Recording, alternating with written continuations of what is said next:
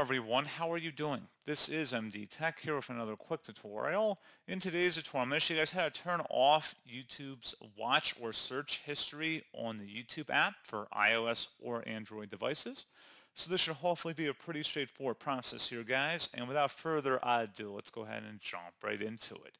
So all you have to do is open up the YouTube app and select the You icon in the bottom right.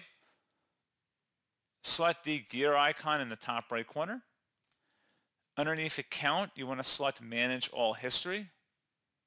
Select the Controls tab, and then scroll down underneath YouTube History. So if the history is presently turned on, you can select the Turn Off button here, and that is all you would have to do.